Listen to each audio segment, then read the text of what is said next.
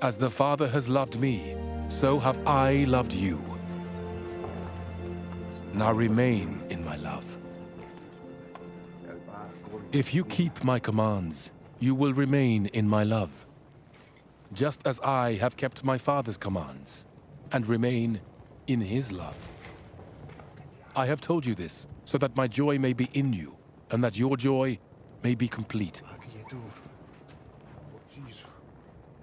My command is this. Love each other as I have loved you. Greater love has no one than this. To lay down one's life for one's friends. You are my friends if you do what I command. I no longer call you servants, because a servant does not know his master's business. Instead, I have called you friends. For everything that I learned from my father, I have made known to you.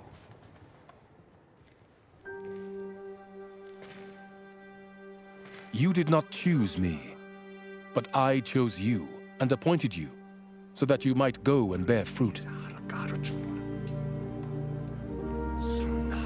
Fruit that will last. And so that whatever you ask in my name, the Father will give you. This is my command. Love each other. If the world hates you, keep in mind that it hated me first.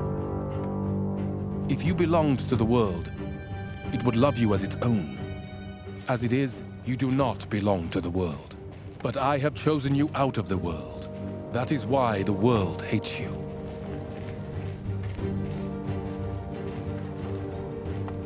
Remember what I told you. A servant is not greater than his master. If they persecuted me, they will persecute you also. If they obey my teaching, they will obey yours also.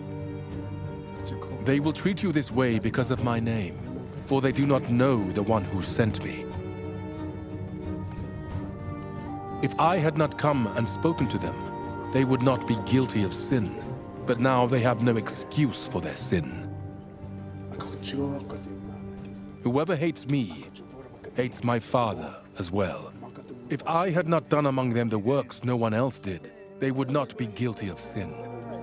As it is, they have seen, and yet they have hated both me and my Father. But this is to fulfill what is written in their law.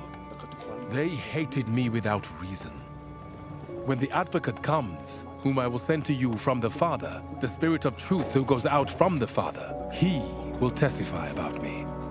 And you also must testify, for you have been with me from the beginning.